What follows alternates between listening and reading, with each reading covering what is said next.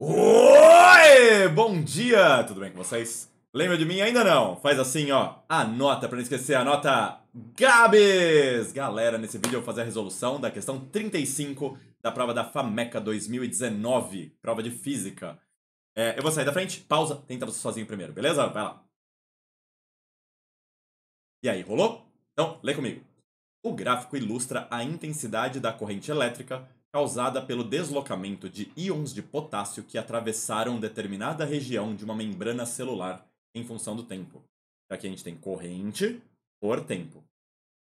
A área sob a curva fornece para a região considerada o quê? Item A, diferença de potencial elétrico. Item B, quantidade de carga elétrica.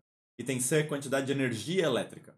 Item D, intensidade de campo elétrico. E item E, resistência elétrica da membrana. Eu vou ensinar um truque que vai valer para qualquer gráfico de física, beleza? Mas já, antes de ver o truque, antes de esquecer, curte o vídeo, se inscreve no canal, balanga o sininho, que é para você não perder as próximas lives e poder participar com a galera, beleza?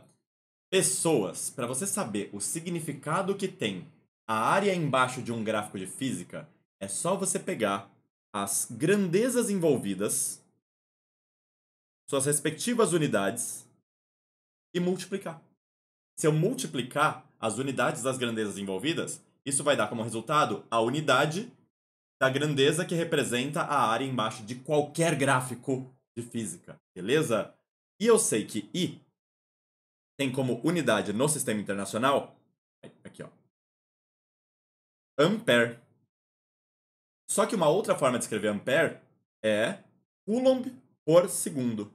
Nossa, Gabs, eu não lembrava disso. É só você lembrar que corrente elétrica é a velocidade com a qual as cargas fluem, beleza? Ou seja, é quantidade de carga dividido pela variação do tempo. Isso daqui é a corrente elétrica média, beleza? E quantidade de carga, coulomb, tempo, segundo. A unidade medida de tempo, que é a grandeza horizontal desse gráfico, é segundo. Se eu multiplicar a unidade medida de corrente no SI pela quantidade, pela unidade medida de tempo no SI, eu vou ter coulomb sobre segundo vezes segundo. Segundo vai cortar e a unidade restante é coulomb.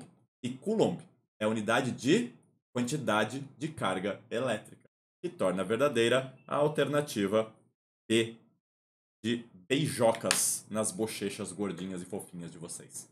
Beleza? Deixa eu ver se tem dúvidas no meu chat.